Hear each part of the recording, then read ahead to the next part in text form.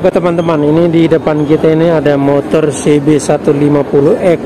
Ini memang uh, modenya yang sudah di custom khusus untuk mode touring lah. Nah, di sini sudah ditambahkan visor tambahan, lalu dipasarin apa ya, kayak crash bar, crash bar gitu sudah ditambahkan, ada ada lampu tambahan dan ya ini mode uh, yang sudah divariasi lah begitu khusus untuk touring dan memang motor ini sudah keluar hampir beberapa bulan yang lalu ya. Ini kalau nggak salah itu rilis tahun 2021 saat itu saya masih touring ke NTT dan motor ini dirilis dari uh, brand Honda. Lalu ya waktu lihat nih karena memang saya suka dunia touring waktu ini rilis saya langsung tertarik dengan bentuknya. Dan memang uh, ketika hari ini saya lihat langsung modelnya uh, ternyata motornya cukup tinggi ini memang ada beberapa variasi. Ini handguard warna putih.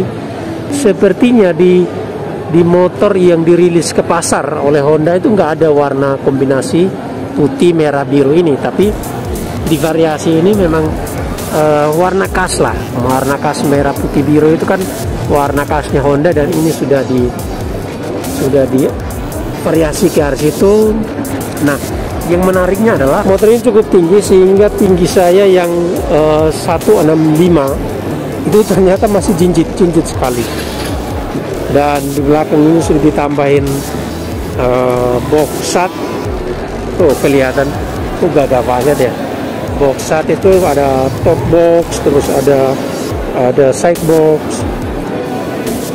Saya juga baru pertama lihat langsung apa Moses saat ini ya nggak ada sistem pengunciannya ini. Oh ini. Jadi uh, dia pakai pakai penutup juga pengunciannya pakai penutup. Dan ini modelnya tidak tahu ini berapa liter ya mungkin 40-an kali ya. Begitupun dengan uh, sideboxnya dan ya sejauh ini menurut saya sih motor ini keren banget lah ya. Kelihatan megah banget. Ini kalau touring pakai uh, senang banget nih kalau touring. Ini kayak sisi kiri tadi ada lampu tambahan lalu ini juga sudah diganti pakai RCB wah ini keren lah. Kalau misalkan variasi kayak gini kan bisa ini di sini ditambah lampu tembak kalau mau bisa bikin dudukan di sini.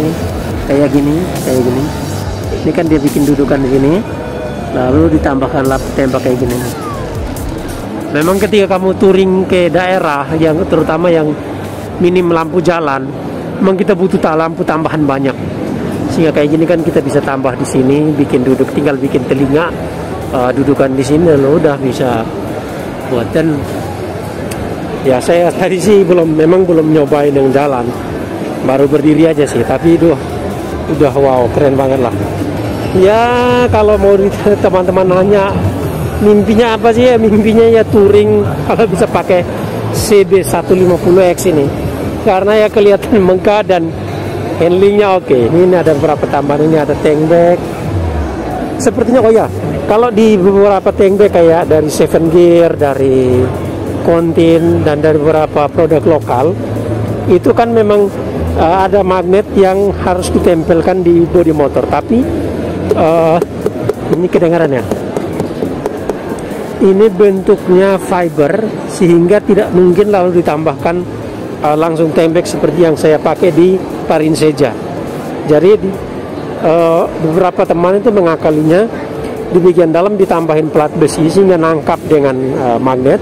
Atau memang ada ada ini ada penuncian atau tali tambahan yang bisa diikat di di bodi motor. Biasanya di di bodi sini ditambahin di sini.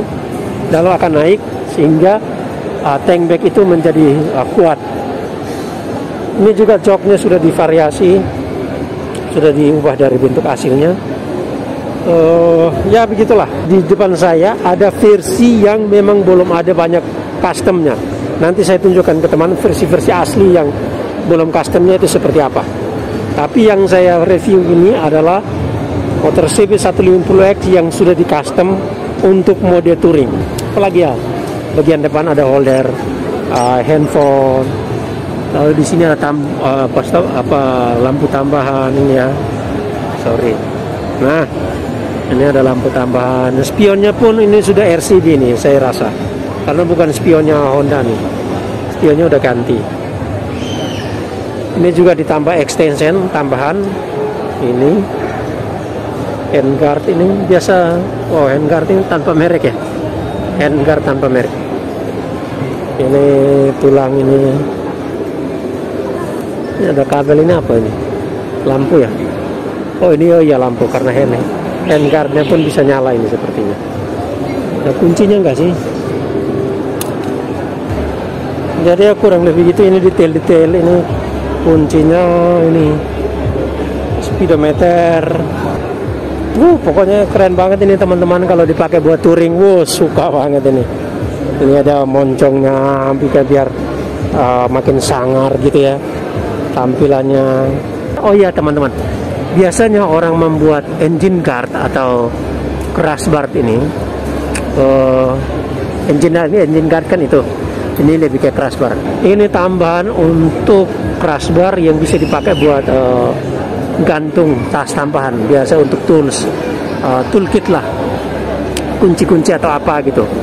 Di sini kalau teman-teman lihat uh, di motor Afrika Twinnya Mario itu ada tambahan model seperti ini. Oke ini kurang lebih seperti ini teman-teman. Tampilan uh, CB150 yang sudah divariasi buat uh, touring. Semua kokoh ya kelihatan kokoh banget ini. Ini tambahan ini. Kokoh. Ini kayaknya dudukannya juga udah oh, saat ya betul. Ini udah dudukannya saat jadi ya semua penguncian ini juga pas pokoknya mantap lah. Ini ada penguncian ini. Biasa kalau di Parin saja kan ada palang kayak begini. Sementara saat dia punya bikin lingkungan ke dalam ke dalam ini dalam spakboard baru keluar. Untuk menghubungkan antara yang uh, sisi kiri dan sisi kanan. Oke teman-teman kurang lebih itu review kita untuk motor ini. Motor CB150X teman-teman mau melihat langsung mungkin ada teman yang sudah punya atau apa bisa lihat langsung wujudnya dari motor ini oke